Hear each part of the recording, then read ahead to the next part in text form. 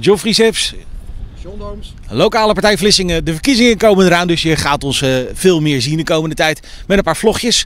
We beginnen in een bouwput, zoals we er heel veel hebben. En we gaan nog meer mooie dingen doen, eh, John. Wat gaan we nog doen? Gemeente Walcheren?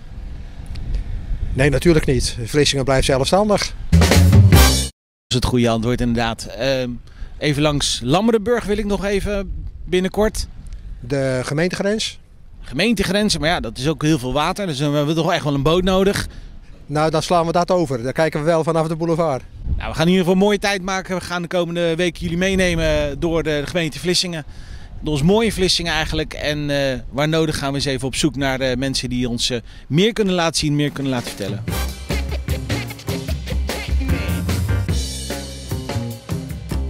Maar eh, John, eh, machinefabriek, timmerfabriek, oude plaatwerkerij. Dit is toch wel een beetje het hart van eh, ons mooie Vlissingen.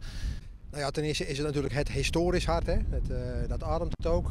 Gaan we daar eh, al vloggend nog eens een keer langs in de machinefabriek? Ja, natuurlijk, want de inwoners moeten dat weten. Wat voor mooie schatten we hebben in deze stad. En we gaan ook nog even langs Soeburg, even langs Ritten. Ja. We gaan vloggen. Ik heb er zin in. Jij? Ja, nou en of, daarom loop ik er ook in de kou. John, waar staan we? We staan Plooiing Boulevard. Onze nieuwe onderremveld. we, we wachten even. ah nee, dat geeft dat niet. uit. Hoort er allemaal bij, hè? Dat is midden in de samenleving.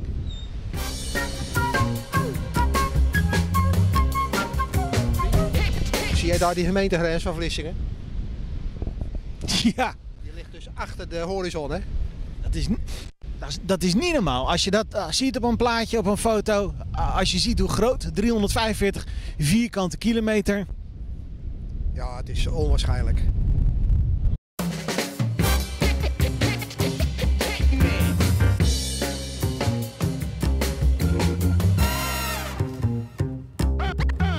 Hier eh, zijn we bij ons stadhuis, ons mooie stadhuis. Hier moet het de komende vier jaar weer gaan gebeuren. Ja, eh, mooie beslissingen voor eh, Vlissingen nemen. Vier jaar zou het gaan lukken. Eh, ik ben ervan overtuigd. Nou, als je ziet wat we bereikt hebben, dan eh, kan het eigenlijk niet anders. Kan de inwoners van Vlissingen toch niet ongegaan zijn eh, wat er allemaal gebeurd is in de afgelopen tijd, hè? Nee, natuurlijk niet. Je moet luisteren. Dingen kunnen altijd beter, maar we hebben het gewoon hartstikke goed gedaan. Na jaren van neergang.